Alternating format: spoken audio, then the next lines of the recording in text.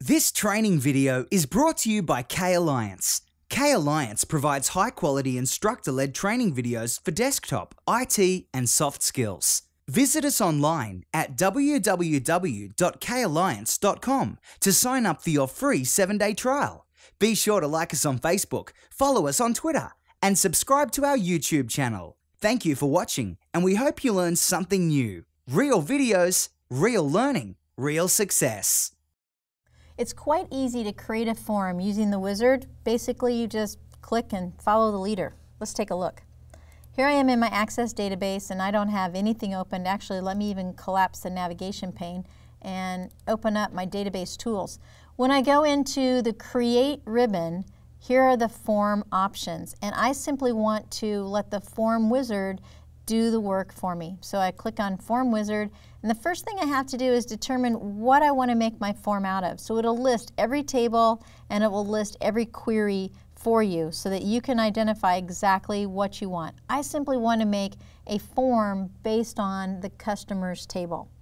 And then you pull into the right column into the selected fields. You simply put in the order the fields that you want on your form. Now, I don't necessarily need the ID field if it's, a, if it's an auto number field and my users don't need to type it in. Why put something extra on the field that they don't need, excuse me, an extra field on the form that they don't need? But if they need to view information on the form, they certainly would need that customer ID field. So we'll just assume that they need it for now.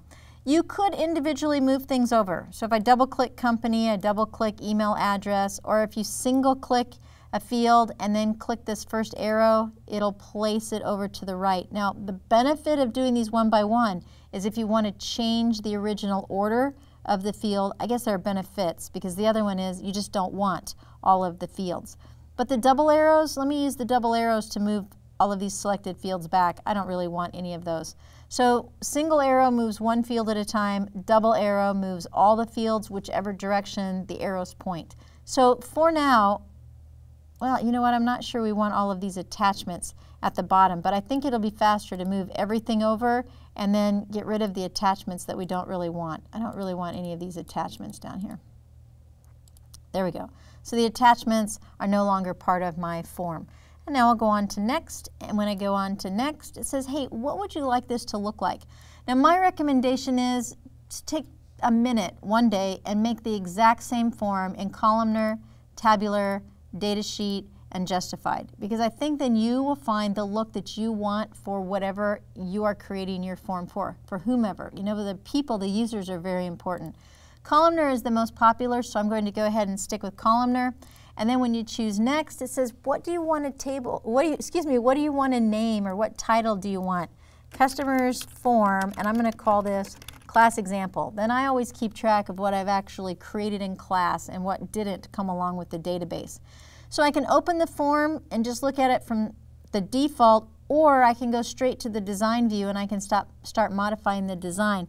No, I just want to open the form and get going. So I'll go ahead and click on finish, give it a second to think, and now what happened is my screen has a new form established for me. And as I scroll down, you can see all of the fields that it placed on the form. I didn't choose anything. I didn't choose colors. I didn't select layout. Absolutely nothing. Everything was selected for me because that's what the Form Wizard does, right? The Form Wizard makes everything happen for you. So now if I'm ready to use this form, here it is. I say, all right, I need the next new record, and off I go. Let me collapse my ribbons here and get those out of the way. That helps a little bit.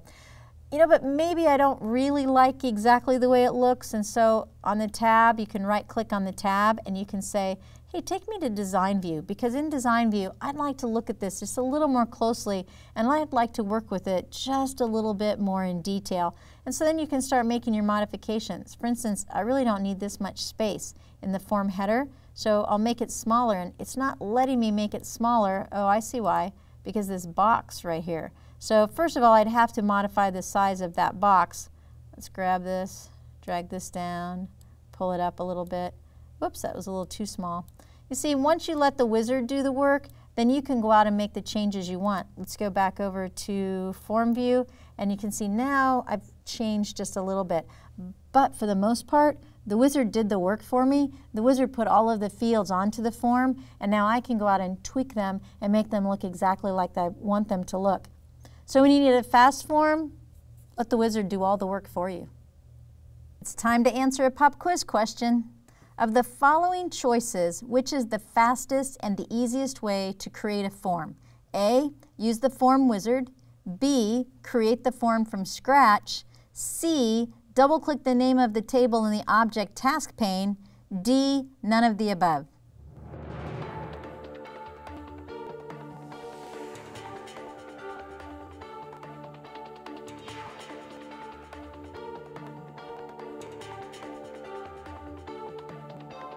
A is the best answer. The form wizard is much, much faster than creating a form from scratch.